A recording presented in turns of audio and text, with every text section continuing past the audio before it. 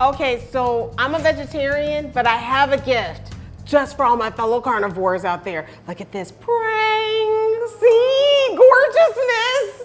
Gorgeousness. The man with the magic hands. We have Tom Schmidt from Salt and Smoke. This, I wish this was smell-o-vision.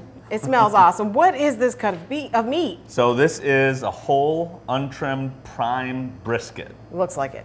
Yeah. Yeah. So uh, we smoke this. What smells so great on here is the post oak that we smoke it over for 16 to 18 hours. All right, what's post oak? Post oak is white oak. So it's it's more in the Texas uh, vein of barbecuing. It's, it's a really deep, intense, heavy smoke, uh, which beef needs. You know, pork and chicken are a little bit lighter and they can take fruit woods, but we feel like beef benefits the most from that really intense, heavy post oak smoke. Okay, and you guys specialize in Texas barbecue. What else about Texas barbecue do you make sure you bring to your uh, cuisine? Uh, well, you know, the brisket is really the star of that. So our, our ribs might even be considered more Memphis in style with their dry rub, and we smoke those over cherry.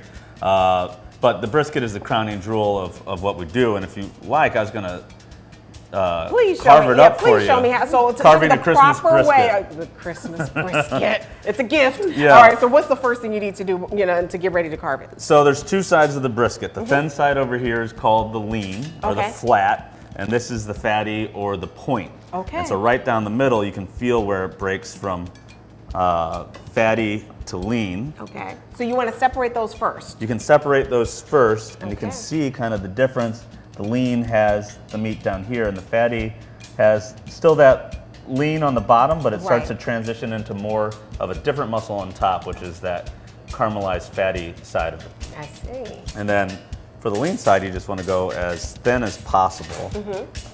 But you'll see that you have that nice, uh, As thin as possible, and straight up and down, not that diagonal stuff that you see people doing trying no, to get fancy. not for this, because you want to go directly against the grain on the lean side, because that'll provide the most tenderness that Okay. Mm-hmm. you can. And then on the fatty side, you know, Texas guys say to carve it against the grain this way because there's two different muscles. Oh. But we like to actually keep going this uh, this direction with it, Mm-hmm. so you get the bark on every cut of that meat. So it, as Oh. you, if you want to cut into the real heart of the fatty side of it here, and you can Uh-huh. see those juices running. see. It's so moist and lean that if you cut it against the grain here, it'll, the juices will run so much that by the time you actually eat it, you've lost a lot of the moisture. So we let your teeth Ah. cut against the grain on it uh, for the final cut on that. You do the work on that. Uh, Bradley, are you okay with this? I'm good, I'm good. He's good. He said he's good. All right, he's good.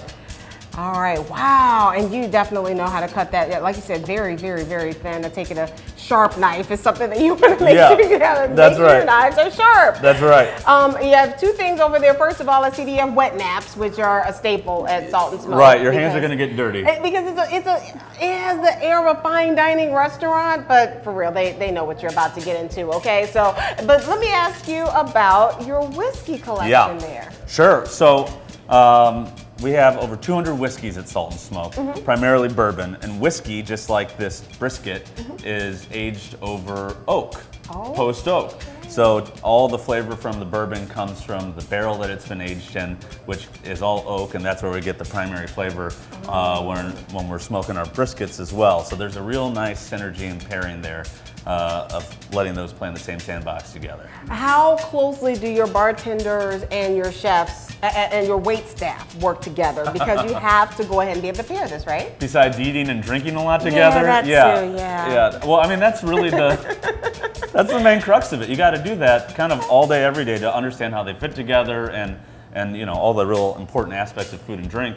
Uh, you can only learn by eating and drinking. Eating, So- and, eating and drinking together. Everybody, we have Salt and Smoke, 6525 Delmar Boulevard in U City, 314-727-0200, Salt and Smoke STL.com. We'll have those links on the Fox 2 web app. When we come back with Fox 2 News 9 a.m., we're going to talk about Thanksgiving catering. Why do the work when you can let these guys do it for you? Here on the 9 a.m. show.